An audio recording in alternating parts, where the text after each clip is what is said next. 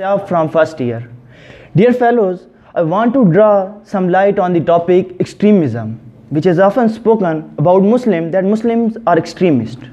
Respected audience, this world has done everything and I have painted Muslims as extremists, but as a result, Muslims have always remained calm and moderate. As they have belonged to religion which has called them as Ummat-e-Wast, mean moderate Ummat. Muslims are moderate in every aspect of life, in their thinking, in their deeds, in their love, in their praise, in their belief. Muslims are neither worshippers of natural phenomena like infidels, nor they cut off from the world like hermit monks. Neither they are like Jews who abuse the Prophet of Allah, and nor they are like the Christians who believe their Prophet as Son of Allah. Neither they believe that war is first or last solution of any disagreement, and nor they hate the weapons of war. They neither allow the world to overcome their religion and not allow their faith to become enemy of the world. They have always taught moderation and are moderate throughout their life. Let us not talk about the era, which was era of their glory and success, the era of power, when the Islamic teachings were ruling from mosques to the palaces. Let us talk about the era of present age, which is the era of defeat, submission, where there is distance from Islamic teachings. But at this time, you will see that there will be no oppression and brutality among Muslims, but it is the identity of Western society. Neither they are burning the piles of dead bodies, nor they are making the towers of skulls, nor they are oppressing anyone to change his religion, nor they are destroying the places of worships. So how can we say that Muslims are extremist? But these all tactics were used against Muslim to make them extremist. But as a result, Muslim again remained calm. Dear fellows, I have a question. That if a harmless cat is attacked by numbers of fierce dogs, she will do whatever she can do for its defense. Can you say that her defend herself was extremism or terrorism?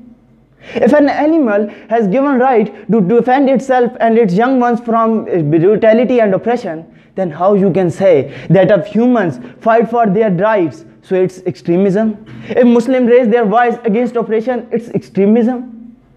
Let me tell you that who are real extremists?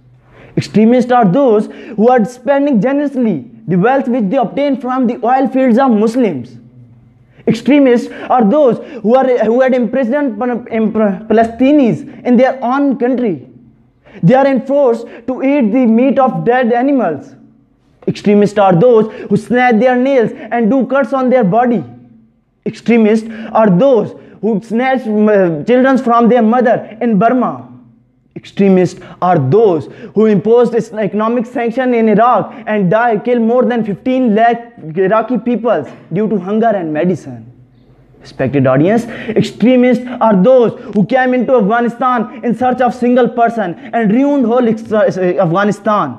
And after occupying Afghanistan, the prisoners were enclosed in container and were sent into the desert, where sand was more hot than burning water and the sky was pouring fire.